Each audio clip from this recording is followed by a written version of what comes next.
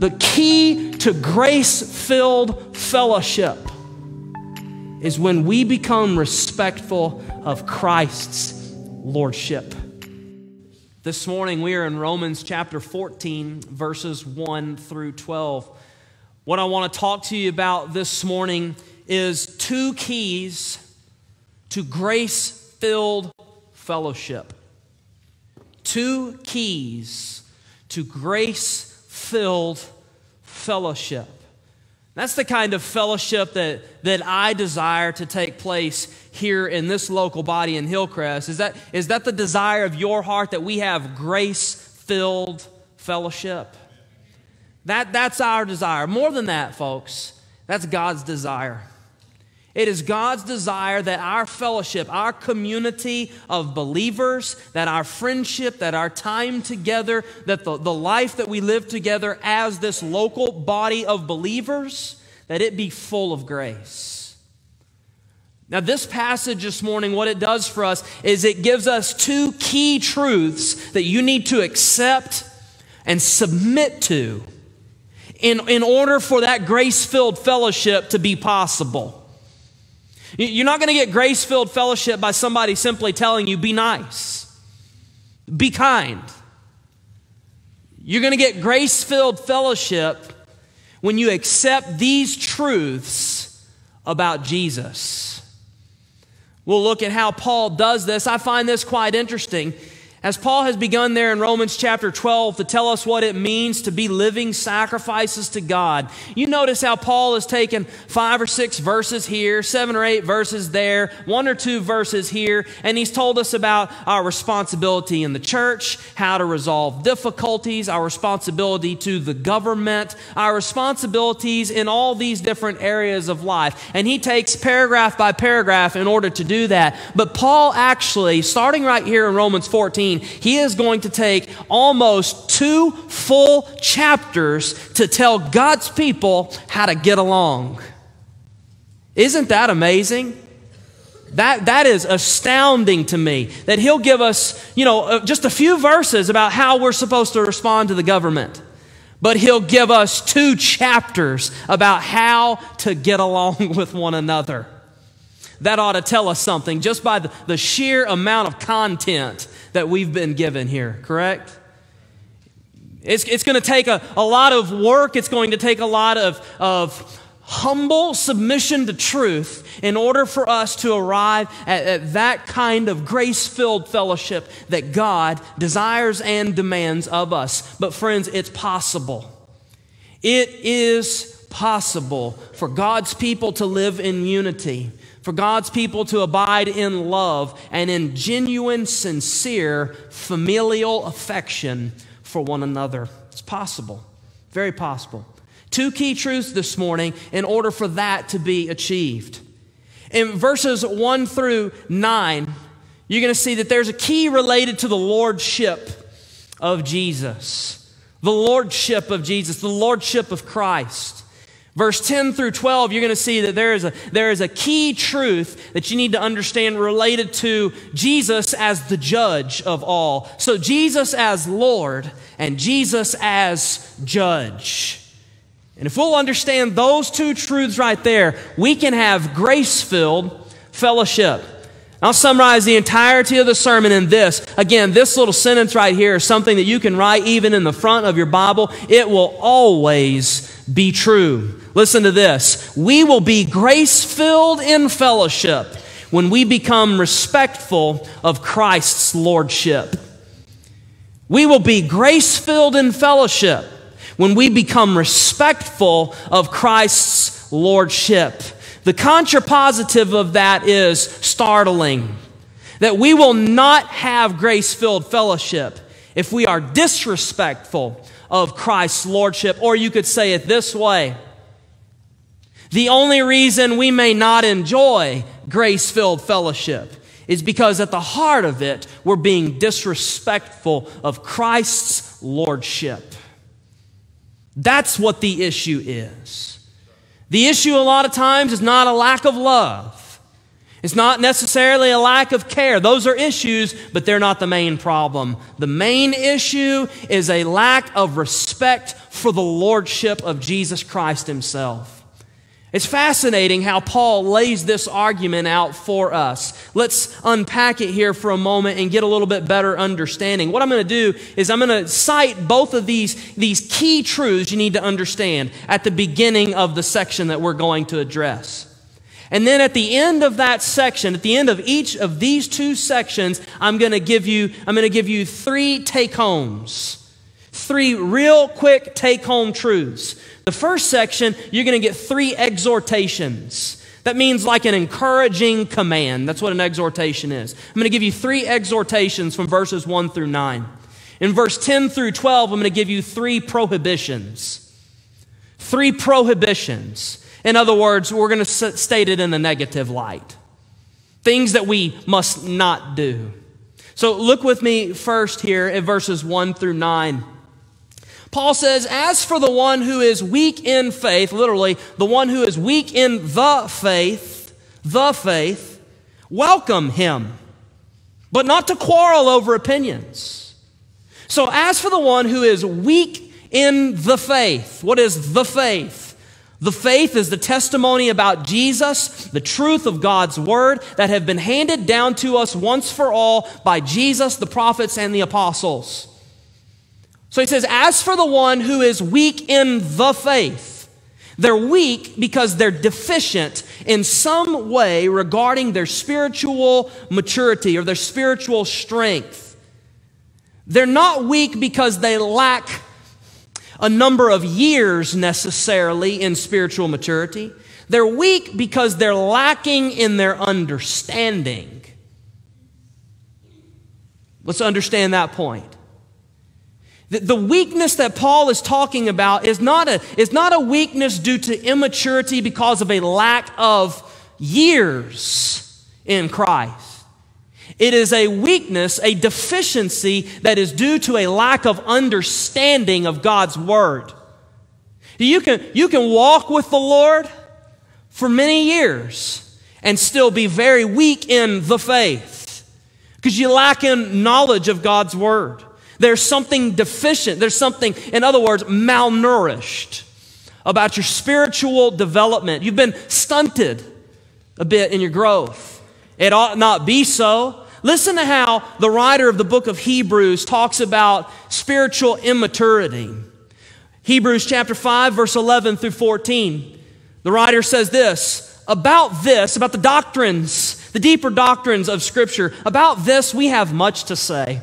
And it is hard to explain why. Since you have become dull of hearing, he's not saying it's impossible to explain, and he's not saying that the problem is with God's word. He says this is hard to explain because you have become dull of hearing. For though by this time you ought to be teachers. So, what is the end goal of being discipled in Christ? It's that we be teachers, all of us that we be disciple makers. He says, and by this time you ought to be teachers. You need someone to teach you again the basic principles of the oracles or the words of God. You need milk, not solid food. For everyone who lives on milk is unskilled in the word of righteousness, since he is a child. But solid food is for the mature for those who have their powers of discernment trained by constant practice to distinguish good from evil. D- does God want us to be mature in the faith? Absolutely. Maturity in the faith is not necessarily correlated with the number of years you've been a Christian. Maturity in the faith, though, is always correlated with your understanding of Scripture. It's always directly correlated to that. Now listen to what Paul says back in Romans 14. He says, As for the one who is weak in faith or weak in the faith, welcome him. Welcome him. But not to quarrel about opinions, not to quarrel about his scruples his, his doubts or his, his thoughts, his reasonings that really don't have any sort of legitimate conclusion. You know, we, we, have, we have quarrels and dialogues about matters of opinion all the time, don't we? We, we, have, we have discussions about this, and, and really, in the end, it comes down to that's your opinion, this is my opinion. And neither one of us is really able to drill down to, to exactly who's right about this. And Paul's saying the one who is weaker in the faith is going to come in, welcome him into the church. And that word for welcome him, it's an imperative, it's a command. It means to bring that person into your circle. Bring that person into your social circle. Bring, bring that person into your clique, your people. We, we have a hard time with that, don't we? We have a hard time sometimes bringing people who we haven't ate dinner with before. Sometimes we have a hard time inviting them to dinner, don't we? You, you find yourself going to dinner with the same people all the time? There's an issue with that. The, the issue is we need to find our brothers and sisters and we need to welcome them in. He says, Ask the one who is weak in the faith, welcome him, but not to argue. We're not, we're not bringing people into the church, receiving them into the, the fellowship and into the body so that we can fight about matters of opinion. God's word is not a matter of opinion, that is a matter of truth. Scripture does not come by one's own private interpretation, it has one fixed meaning. So we're not arguing about this. There's nothing to argue about in here. This is just truth. He says th- things that are not, matters of opinion. Don't bring that weaker brother in in order to, to squabble with him. It's okay. So, so who is this weaker brother? Who is this weaker brother? Now, let me just say this. When we hear about a weaker brother or a weaker sister in Scripture, what is our first assumption? Some of you are getting this. Now, our first assumption is it's somebody other than me, right? I'm clearly the stronger one, right? I, I clearly. I, I must be the more mature. Let me remind you of a couple of passages here that Paul's already set out for us. Romans chapter 12, verse 3. Paul says, For by the grace given to me, I say to everyone among you, to not think of himself more highly than he ought to think, but to think of himself with sober judgment, each according to the measure of faith that God has assigned. Romans chapter 12, verse 10. Love one another with brotherly affection.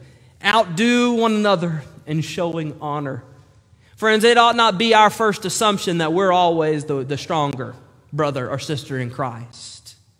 We ought to seek to show honor. We ought to seek to know our place. We ought to seek to not elevate ourselves to higher places. No. Think of ourselves with humility. So, how does Paul define here the one who is weak in the faith? I've already given away the goat here before I even read the next verse. But the one who is weak in the faith is deficient somehow in their knowledge of truth, in their knowledge of Scripture. Listen to how Paul does this, and we'll drill down to some really, really applicable points. Paul says this. Let's read verse 1 and 2 together. He says, As for the one who is weak in faith, weak in the faith, welcome him. Bring him into your inner circles, bring him into your community. But not to quarrel or fight over doubtful reasonings, over opinions. One person believes he may eat anything, while the weak person eats only vegetables. You talk about a verse that could be taken out of context. The weak person eats only vegetables. Amen, right? Eat some meat, right? He says, one person believes he may eat anything. The weak person eats only vegetables. What is Paul talking about here? One person believes he may eat anything. Now, to whom was Paul writing this letter? We've talked about this a bit in Sunday school, talking about the provenance. To whom is Paul writing this letter? He is writing this letter to the church in Rome, to the Roman Christians, a church made up both of Jews and Gentiles. And now, all of a sudden, we begin to start to understand what Paul is talking about here. He is writing to a church that is full of both Jewish Christians and Gentile Christians. All Christians, but come from very different backgrounds. You see, the Jewish Christian comes from a background of being totally submissive to the Mosaic law, to the, the dietary restrictions of the Old Covenant. In the Old Covenant, they were restricted from eating certain kinds of meat. They're restricted from, from mixing certain types of fabrics and doing things like this and doing things like that. And there are all sorts of restrictions and confinements on what they may eat and what they may not eat. And so you have these Jewish Christians in the church, they're believing in Jesus, they love Jesus, they're saved by grace through faith, but they come in and their conscience is very, very sensitive to what a person eats because they grew up that way. That's what they've believed all the way up to the point of receiving Jesus. And for them to eat a certain kind of meat seemed like it would make them ceremonially, ritually unclean and impure. You say, wow, these, these people have a, a great biblical background. They really understand the Old Testament. These other people, they just eat whatever they want. That's most likely the Gentile peoples. Not only is it the Gentile peoples, it's the more mature Christians. Because notice which one he says is weak. The one that he says is weak is the one who eats only vegetables. It's the one who has an improper understanding of the new covenant. That's the person who's weak. A person who has a deficient understanding that in Christ all foods are clean. What does Jesus say in Mark chapter 7? That it's not what a person eats that defiles him, it's what comes out of his mouth that defiles him. It's what comes out of his heart. Out of the heart come adulteries and slanders and murders and all things like that. And it says in Mark chapter 7, there's a little parenthesis, and it says, And thus saying this, he made all things clean. You see, the, the mature Christian, the one who is stronger in the faith, has a proper understanding of the doctrine of being in Christ. They have a proper understanding of the new covenant freedoms. The one who is weaker in the faith has yet to come to understand that in Christ they actually are permitted to eat bacon, permitted to eat catfish, fish without scales the one that is weaker in the faith has a deficiency in their theology. That's their issue. It's not necessarily a deficiency in their passion or a deficiency in their willingness to show up or their deficiency in the number of years they've been in the church. It is a deficiency in their theological understanding. And that, Paul says, makes them weak. So, what do we do with such people? He says, verse 3 Let not the one who eats despise, that's an imperative, a command. Let not the one who eats despise the one who abstains. So, the one who eats anything is the person who understands that in Christ, in the new covenant, in his blood, I have the freedom to eat any kind of food. I have the freedom. It's not going to make me unclean. Jesus has made me clean. So the one who is strong, he feels the freedom to eat anything. And he says, Let not the one who eats, the one who understands these truths, let him not despise the one who abstains from eating these foods. To despise someone is to hold them in contempt, to look down on them. Right, right now, it, it's still not really clicking with us yet. So let me put it this way. Let me, let me draw it into a, uh, an aspect where we can understand this in our culture. So somebody comes into this fellowship. They believe Jesus Christ is Lord of all, died for my sins, raised up from the dead, seated at the right hand of God. And I asked Jesus to forgive me my sins and save my soul, and he did. But this person does not understand their Bible very well. Paul says, don't despise that person. Don't look at them and say, good grief, why don't you get it? You know what that is? That is arrogant condescension. Paul's saying this You people who know a little bit more about Scripture, you people who are a little bit deeper in your understanding of truth, don't get irritated and frustrated to the point of being arrogantly contemptuous towards people who are not where you are yet. Don't look at them and say, Would you just come on already? I, am waiting on you to, to arrive at my level. Would you just get on my understanding already? Why are you not here? It's right here. Black words on white paper. It's easy to understand. Come on. Paul's saying, don't do that. Do not despise the person who lacks in theological understanding that you may already have. There are many doctrines that we could talk about that some of us may have a, a more deep understanding of, maybe spent more time in. And just because we understand that does not mean we have a right to look down our nose at anybody else. He says, Don't despise them, don't treat them with contempt. No, what should you do? Welcome them. He says, Welcome them. Bring them into your circle. Bring them into your, your group of people that you go eat dinner with or you hang out with. Spend time with this person. They're a brother and sister in Christ. But look at what else he says. He says in verse 3 Let not the one who eats despise the one who abstains, and let not the one who abstains pass judgment on the one who eats, for God has welcomed him. So let not the one who abstains pass judgment on the one who eats. The one who abstains from food here is the one whose theological understanding is deficient. They don't understand that you can, you can eat all foods in the new covenant. So, what happens is this they look at other people and, and they, they look at them with this eye of cynicism. I believe in Jesus. I believe He's died for my sins. He's raised up from the dead, seated at the right hand of God. I am born again, and I'm going to pick you apart. Paul's saying, don't do that. Do not pass judgment. He's not talking about being a discerning people. He's not saying don't be a discerning person. He's already told us to have a renewed mind so that we can, have, we can discern the will of God. He's saying don't look with a critical eye at all these other believers around you. No, rather than being cynical and being critical and picking each other apart, what does he say? Is welcome. Bring them in. Why? Why should you look at your brother or sister in Christ with a humble, gracious attitude? Why?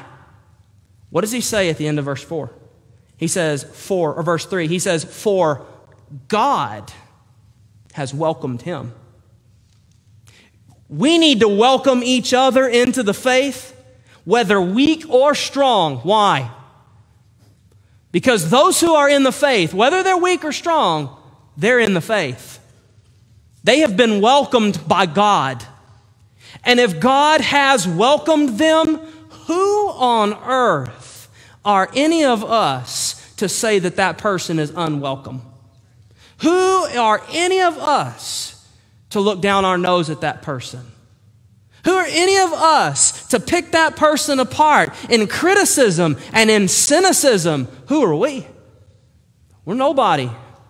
Friends, if our brothers and sisters in Christ are in the faith, God has welcomed them. So we need to be governed by an attitude of humility, by an attitude of graciousness. Look at what he says in verse 4 For God has welcomed him.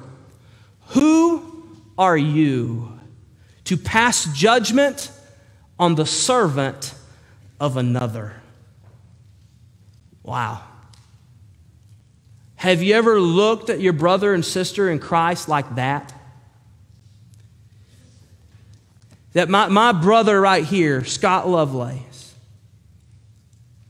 he doesn't belong to me. My brother right here, Ronnie Terry, it doesn't belong to me. He's my brother in Christ. He doesn't belong to me. He belongs to Jesus. And I don't have the right to pick those men apart. I don't have the right to be unwelcoming to those men. They don't belong to me, they belong to Jesus. That's true, friends, of everyone in the faith. They are a servant, the servant of another. We don't have the right to crucify them with our opinions and with our judgments. We don't have that right. We're not the ones who purchased them with our blood. We're not the ones who died for them on Calvary's tree. We're not the ones who were raised from the dead to give them life. So, where do we find the authority to be critically cynical and ungracious to each other? Paul says, Who, who are you? Who are you to pass judgment on the servant of another? Look at what he says the rest of verse 4. It is before his own master that he stands and falls, and he will be upheld, for the Lord is able to make him stand. Amen. So, to my, my brother or sister in Christ that, that might be weaker in their theological understanding, their biblical grips on things, guess what? The same gospel that I'm putting my hope in to be saved is the same gospel they put their hope in to be saved. And in the judgment, I will not stand before God because I have a deeper understanding of the Bible. I'll stand before God only by grace through faith. And the same Savior that holds me up is the same Savior that's going to hold my brother up. Who am I to cast a condemning judgment on them? I need to be nice. Because I'm talking to other servants of the Lord. I'm not talking to people that I own. That puts a new light on things, doesn't it? I need, I need to be nice to my church family because, in the end, they're not mine. We all belong to Jesus. Write down this first key truth to grace filled fellowship. Key number one Jesus is the Lord of all, so it's not my place to act like the Lord of any. Jesus is the Lord of all, so it's not my place to act like the Lord of any. It is before his own master, and he stands or falls and he will be upheld, for the Lord is able. The Lord has the power to make him stand. I'm thankful the Lord has the power to make me stand. In many ways, brothers and sisters, I am the weaker one. I'll not immediately assume that I'm the strong one. I, I, I, can think of quite a large number of brothers and sisters in Christ who have been walking with Him far longer than I have, who have been studying more intensely for far longer than I have. And when I'm in their presence, I feel like a child. I'm thankful that God's the one that's going to make me stand. I'm thankful that I'm not going to have to stand on my theological degrees or lack thereof. I'm going to stand by grace and grace alone. He says in verse 5, he says, One person esteems they hold one day as better than another, while another esteems all days alike. He's probably referring here to Jewish Christians who believed that they should worship Jesus on the Sabbath day. What day of the week is the Sabbath day? It's Saturday. What day of the week was Jesus raised from the dead? A Sunday. That's why we call Sunday the Lord's Day. And so you would have had Gentile Christians in those days saying, We'll worship on the Lord's Day. We worship Jesus. And you have Jewish Christians who've grown up worshiping on Saturday. It feels strange to them to worship on a Sunday. Saturday has been the day that they have esteemed and held in high regard. Listen to what he says, though. Listen to this. This is so important for us. One person esteems one day better than another, while another esteems all days alike. Each one should be fully convinced in his own mind. So if you're going to worship on Saturday, you know it's not a sin against God to have a Saturday night worship service.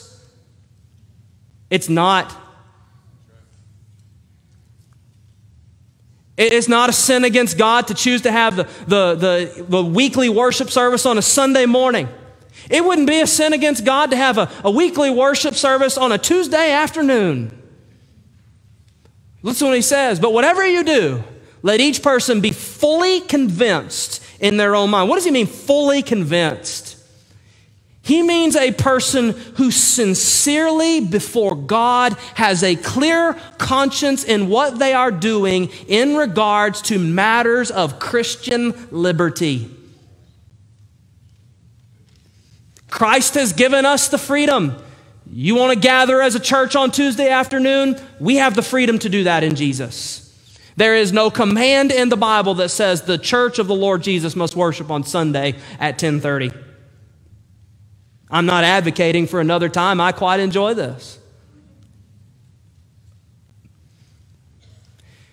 But whatever we do, whatever you do in matters of Christian liberty, he says the first principle you need to understand is you better be sincerely convinced with a clear conscience before God Almighty that what you are doing is honoring Him and you're doing it in a worshipful tone. You know, that same term, fully convinced, just to tell you how serious of a conviction that means, that's the same term that is used to talk about Abraham's belief in the love and providence of God. Abraham's full conviction that God would raise Isaac from the dead if he sacrificed him on Mount Moriah. Listen to this Romans chapter 4, verse 20 through 22, the same exact word. He says, No unbelief made him, made Abraham waver concerning the promise of God, but he grew strong in his faith and he gave glory to God, fully convinced, there it is, fully convinced that God was able to do what he had promised. That is why his faith was counted to him as righteousness. So, in matters of Christian liberty, Christian freedom, whatever you are going to do, you better have the faith of Abraham in it. That's what Paul is saying.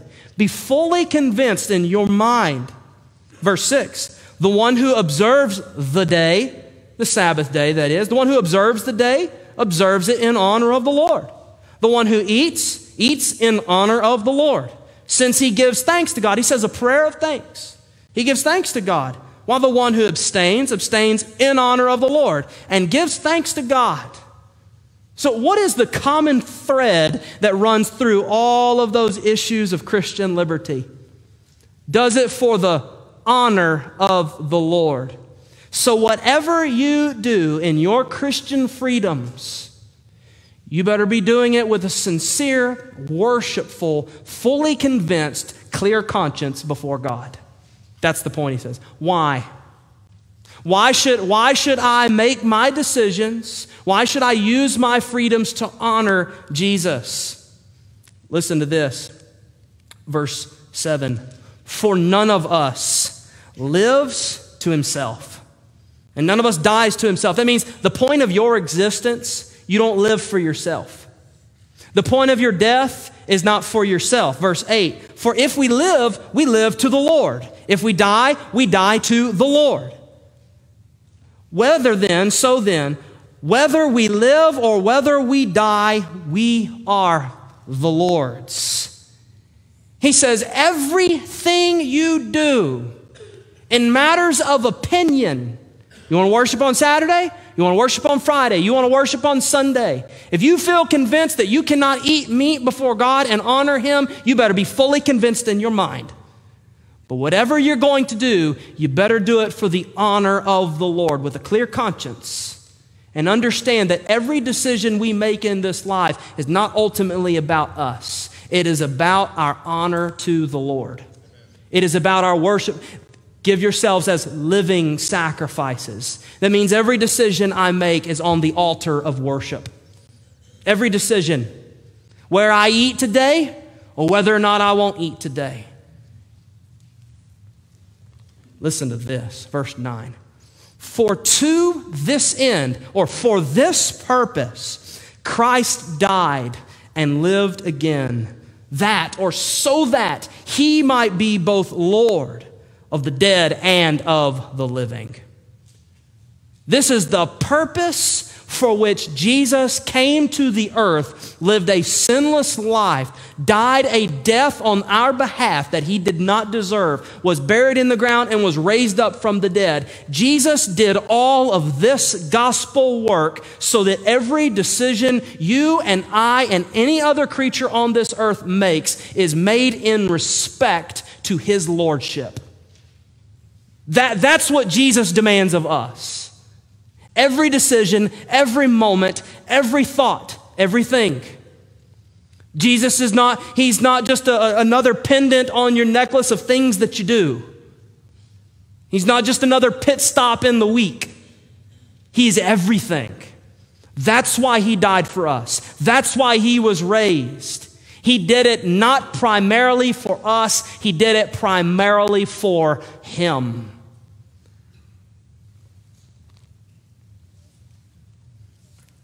For to this end Christ died. What is the end? That he would be Lord of our lives. That's what he did it for. So, whatever you do, friend, do it first by asking, Lord Jesus, do you desire for me to make this decision? Lord Jesus, do you desire for me to go to this place? Lord Jesus, do you desire for me to continue in this or in that? It's all about you, Lord Jesus. It's not about me, it's about you. Lord, I surrender my wants to your desires.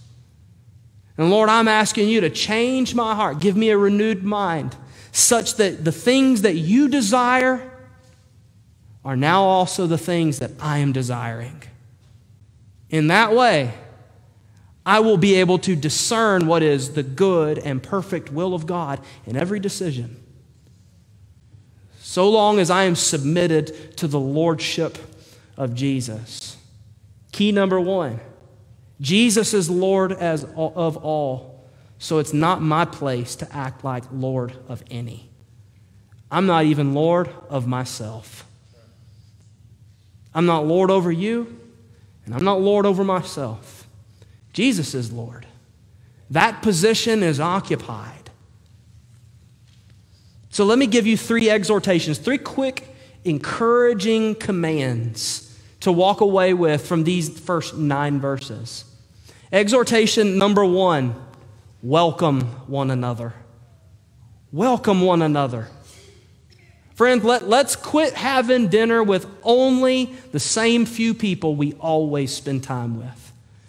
Let's start welcoming one another. I guarantee you, if you look across this sanctuary, you will see probably at least 15 to 20 people that you do not know. Welcome them. Welcome them. That's how we're going to be a grace filled fellowship. That's how our church, the Lord Jesus' church, will begin to be known again in this community as a loving church. When we welcome one another, open arms. Why? God has welcomed you. God has called us family. Exhortation number one welcome one another, bring other people in to your community. Exhortation number two be patient with one another. See, in, in this sense, every one of us is a stronger brother at some times, every one of us is a weaker brother at some times. In some aspects, I'm the stronger brother for some of you. In other aspects, I am the weaker brother in relation to some of you. And I, when I am in a position of being the stronger brother, of having more understanding of Scripture and being able to disciple you, you know what I need to be with you? I need to be patient with you. I need to be patient with you. I don't need to try to crush you and say, Would you just grow up already? That's, that's unacceptable. Be patient with one another. Now, in the sense that I would be a weaker brother, exhortation number three welcome one another, be patient with one another. Number three, be gracious with one another. We don't need to be contemptuous, cynical fault finders. Jesus is, is my brother and sisters, Jesus is Lord.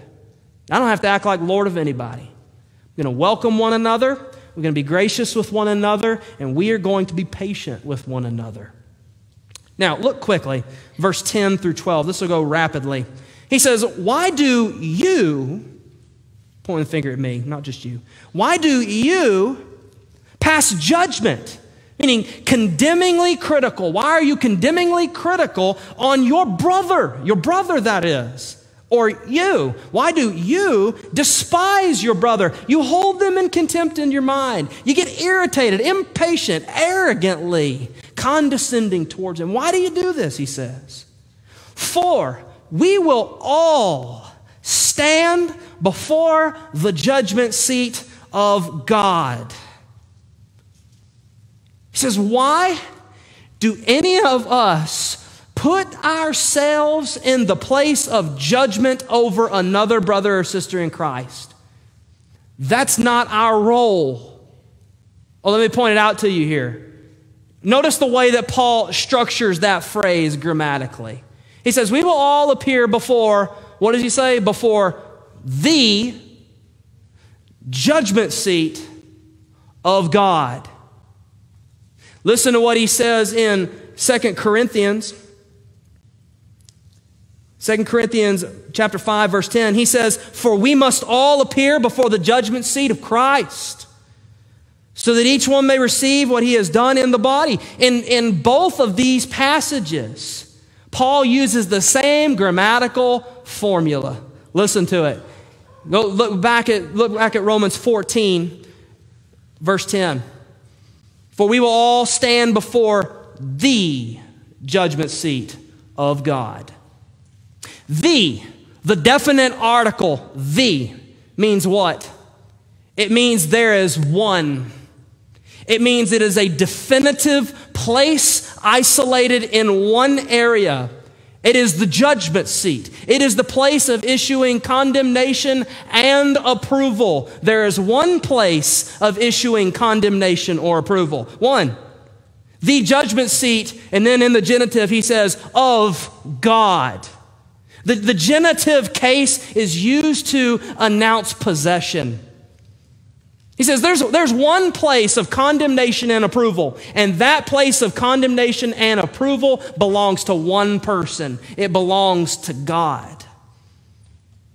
So, what does that mean? Key number two here Jesus is the judge of all, so it's not my place to be the judge of any.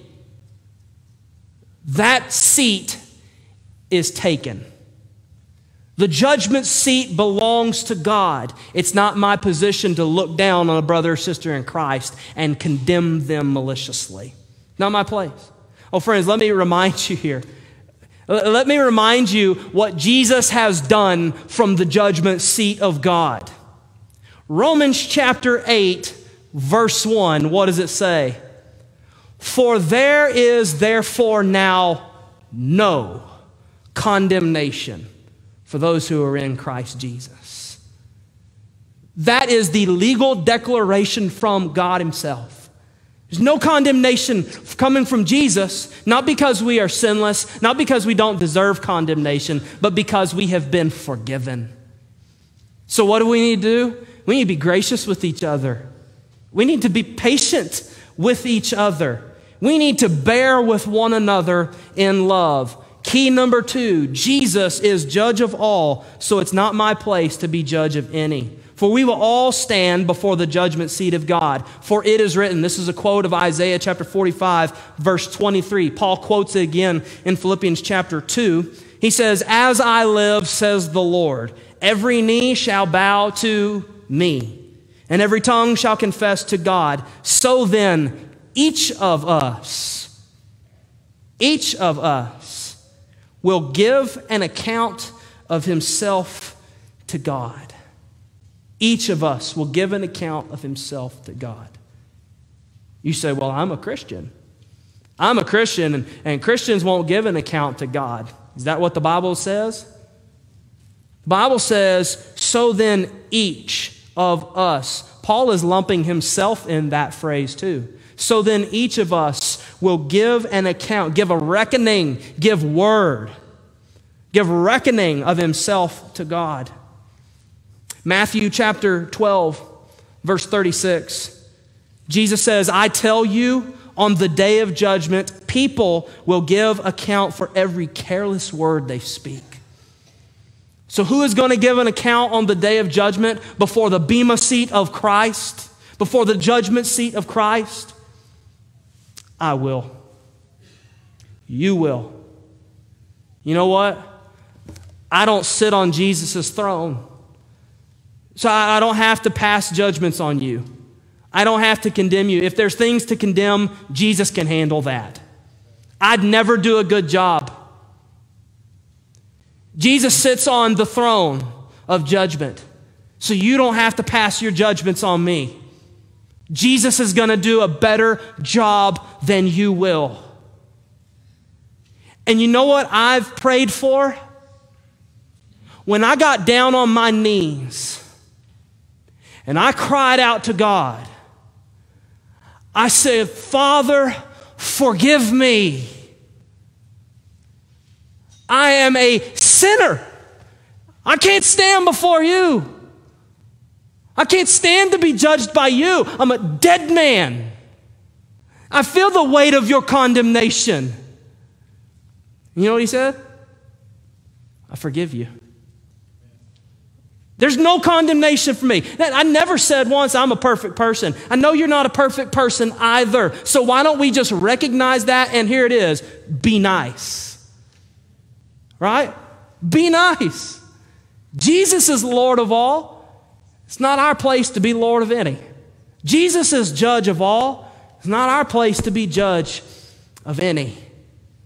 Oh, you remember the, the key to grace filled fellowship is when we become respectful of Christ's lordship.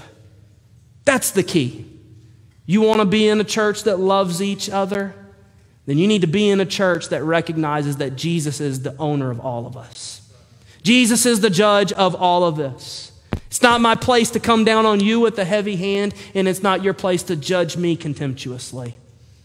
It's our place to serve Jesus. We are here to serve. That's what we're here to do. We're here to make much of Jesus. Hillcrest Baptist Church is one family learning the word, growing together, sharing the gospel. For whose glory? For the glory of God. This church doesn't exist for us. None of us is Lord.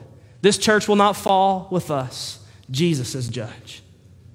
So we need to be nice, be grace filled in our fellowship. Would you pray with me?